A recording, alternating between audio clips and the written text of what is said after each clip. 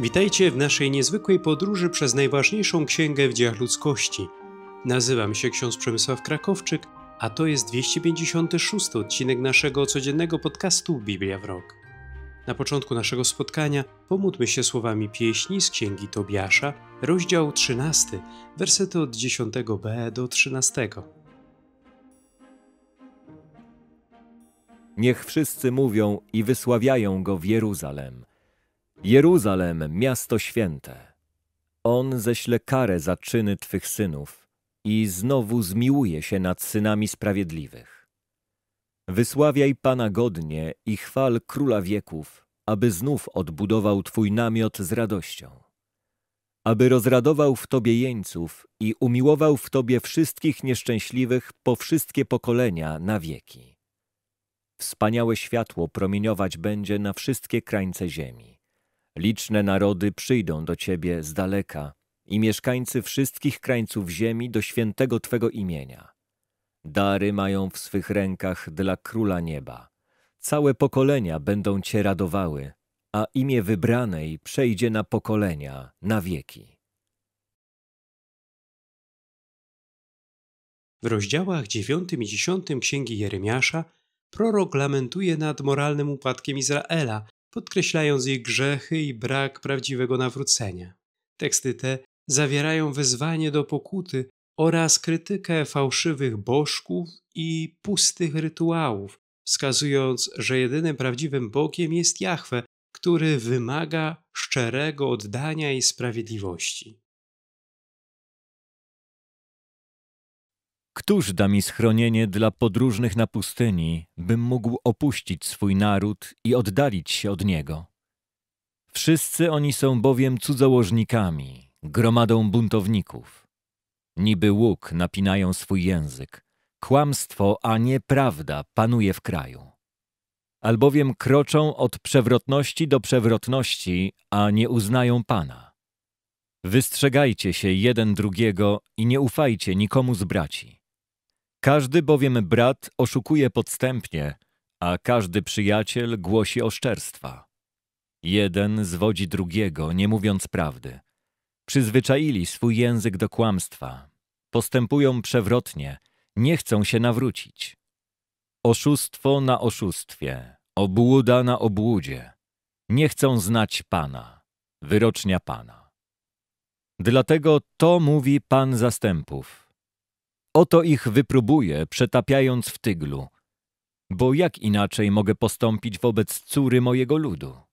Ich język jest śmiercionośną strzałą, słowa z ich ust są oszustwem. Jeden do drugiego mówi pokój, a w sercu przygotowuje mu podstęp. Czy mam ich za to nie karać, wyrocznia Pana, i na narodzie takim jak ten nie dokonać pomsty? I rzekł Pan, ponieważ porzucili prawo, które im dałem, nie słuchali mojego głosu i nie postępowali według niego, lecz postępowali według zatwardziałości swych serc i chodzili za Baalami, jak ich nauczyli ich przodkowie. Dlatego tak mówi Pan zastępów, Bóg Izraela. Oto dam im, narodowi temu, za pokarm piołun i za napój wodę zatrutą.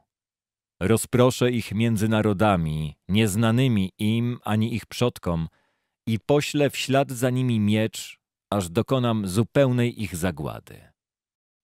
Tak mówi Pan zastępów. Uwaga!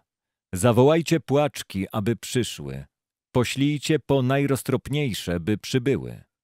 Niech się śpieszą i niech zaśpiewają nad nami pieśń żałobną, a łzy wytrysną z naszych oczu i woda popłynie z naszych powiek.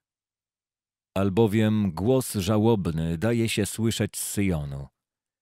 Jakże jesteśmy zrujnowani, zawstydzeni ponad miarę, ponieważ musimy kraj opuścić i porzucić nasze mieszkania. Niewiasty, słuchajcie słowa Pana i niech wasze ucho przyjmie słowo z ust Jego. Nauczcie wasze córki zawodzeń, a jedna drugą pieśni żałobnej. Śmierć wtargnęła przez nasze okna, weszła do naszych pałaców, zgładziła dziecko z ulicy, a młodzieńców z placów. trupy ludzkie leżą jak nawóz na polu, jak snopy za żniwiarzem, których nikt nie zbiera. Tak mówi Pan. Mędrzec niech się nie szczyci swą mądrością, siłacz niech się nie chełpi swą siłą, ani bogaty niech się nie przechwala swym bogactwem. Raczej chcąc się chlubić, niech się chlubi tym, że jest roztropny i że mnie poznaje, iż to ja jestem Pan, który okazuje łaskawość, praworządność i sprawiedliwość na ziemi. W tym to mam upodobanie. Wyrocznia Pana. Oto dni nadejdą, wyrocznia Pana, kiedy ześlę karę na wszystkich obrzezanych według ciała, na Egipt, Judę i Edom, Amonitów, Moab i na wszystkich, którzy podcinają włosy i mieszkają na pustyni. Albowiem wszystkie narody są nieobrzezane i cały dom Izraela jest nieobrzezanego serca. Słuchajcie słowa, które Pan mówi do was, domu Izraela. Tak mówi Pan. Nie przyswajajcie sobie postępowania narodów, ani nie obawiajcie się znaków niebieskich, mimo że obawiają się ich narody. Albowiem to, co wzbudza lęk u narodów, jest niczym, jako że jest drewnem wyrąbanym w lesie, obrobionym dłutem, rękami rzeźbiarza. Zdobi się je srebrem i złotem. Umocowuje się za pomocą gwoździ i młotka, by się nie chwiało. Posągi te są jak strachy na ptaki wśród pola melonów. Nie mówią. Trzeba je nosić, bo nie chodzą. Nie bójcie się ich, gdyż nie mogą zaszkodzić, ani nie są zdolne czynić dobrze. Nikogo nie można porównać do Ciebie, Panie. Jesteś wielki i wielkie jest przepotężne imię Twoje. Kto nie lękałby się Ciebie, Królu Narodów? Tobie to właśnie przysługuje. Bo spośród wszystkich mędrców narodów i spośród wszystkich ich królestw nikt nie może się równać z Tobą. Wszyscy razem są głupi i bezrozumni. Nauka pochodząca od bałwanów to drewno. Srebro kute w płytki, przywożone z a złoto z Ufas, dziełem sprawnych rąk złotnika. Szaty ich są z purpury i szkarłatu. To wszystko jest dziełem zręcznych rzemieślników. Pan natomiast jest prawdziwym Bogiem, jest Bogiem żywym i Królem wiecznym. Gdy się gniewa, drży ziemia, a narody nie mogą się ostać wobec Jego gniewu. Tak macie mówić do nich. Bogowie, którzy nie uczynili nieba i ziemi, znikną z ziemi i spod tego nieba. On mocą swą uczynił ziemię. Umocnił świat swą mądrością, a swoim rozumem rozpostarł niebiosa. Na dźwięk Jego głosu huczą wody w niebie. On sprawia, że się chmury podnoszą z krańców ziemi. On czyni błyskawice, zapowiedź deszczu, i wysyła wiatr ze swoich zbiorników. Ograniczony pozostaje każdy człowiek bez wiedzy. Wstydzić się musi każdy złotnik z powodu bożka, bo jego posągi są kłamstwem i nie ma w nich życiodajnego tchnienia. Są one nicością, tworem śmiesznym. Zginą, gdy nadejdzie czas obrachunku z nimi. Nie takie jest dziedzictwo Jakuba. On bowiem ukształtował wszechświat. Izrael zaś jest szczepem jego dziedzictwa. Imię jego Pan Zastępów. Pozbieraj z ziemi swoje tobołki, ty, która pozostajesz oblężona. Albowiem tak mówi Pan. Oto daleko odrzucę tym razem mieszkańców kraju. Sprowadzę na nich ucisk, by mnie odnaleźli. Biada mi z powodu mego nieszczęścia. Rana moja jest nieuleczalna. A ja myślałem, to jest jedynie mój ból i mogę go znieść. Namiot mój uległ zniszczeniu. Wszystkie moje sznury zostały zerwane. Synowie moi odeszli ode mnie, nie ma ich. Nikogo już nie ma, kto by naprawił namiot i kto by rozpiął moje płótna. Tak, pasterze okazali się nierozumni, nie szukali Pana, dlatego się im nie poszczęściło, a cała ich trzoda uległa rozproszeniu. Słuchajcie nowiny, oto nadchodzi. Wielka wrzawa z ziemi północnej, aby zamienić miasta judzkie w pustynię, w siedlisko szakali. Wiem, Panie, że nie człowiek wyznacza swą drogę i nie w jego jest mocy kierować swoimi krokami, gdy idzie. Ukaż mnie, Panie, lecz według słusznej miary, nie według swego gniewu, byś mnie zbytnie umniejszył. Wylej gniew swój na narody, które Ciebie nie uznają i na plemiona, które nie wzywają Twego imienia. Pochłonęły bowiem one Jakuba, zniszczyły go i spustoszyły jego pastwiska. Pierwszy list do Tymoteusza, rozdział czwarty, zawiera napomnienia dotyczące zachowania prawdziwej wiary oraz ostrzega przed fałszywymi naukami i wprowadzeniem w błąd. Paweł zachęca Tymoteusza do wiernego nauczania i życia zgodnego z Ewangelią, podkreślając znaczenie praktykowania pobożności, modlitwy i studiowania Pisma Świętego. Wzywa do oddania się służbie Bożej, która przynosi zbawienie i duchowy wzrost.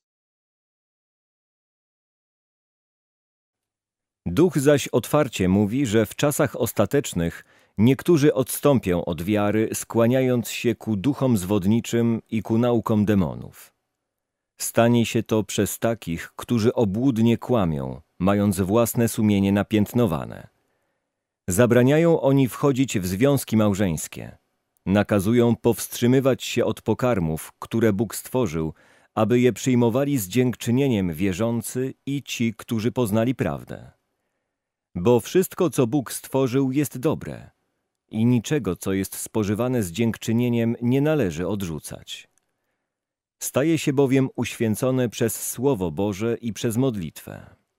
Przedkładając to braciom, będziesz dobrym sługą Chrystusa Jezusa, karmionym słowami wiary i dobrej nauki, za którą poszedłeś. Odrzucaj natomiast światowe i babskie bajki. Sam zaś ćwicz się w pobożności bo ćwiczenie cielesne nie na wiele się przyda. Pobożność zaś przydatna jest do wszystkiego, mając obietnicę życia obecnego i tego, które ma nadejść. Nauka to godna wiary i zasługująca na całkowite uznanie. Właśnie o to trudzimy się i walczymy, ponieważ złożyliśmy nadzieję w Bogu żywym, który jest zbawcą wszystkich ludzi, zwłaszcza wierzących. To nakazuj i tego nauczaj. Niechaj nikt nie lekceważy Twego młodego wieku, lecz wzorem bądź dla wiernych w mowie, w obejściu, w miłości, w wierze, w czystości. Do czasu aż przyjdę, przykładaj się do czytania, zachęcania, nauczania. Nie zaniedbuj w sobie charyzmatu, który został Ci dany za sprawą proroctwa i przez nałożenie rąk kolegium prezbiterów. W tych rzeczach się ćwicz, cały im się oddaj, aby Twoje postępy widoczne były dla wszystkich. Uważaj na siebie i na nauczanie. W tych sprawach bądź wytrwały. To bowiem czyniąc i siebie samego zbawisz, i tych, którzy Cię słuchają. Dziękuję za uwagę i zapraszam na jutrzejszy odcinek podcastu Biblia w rok. Do usłyszenia.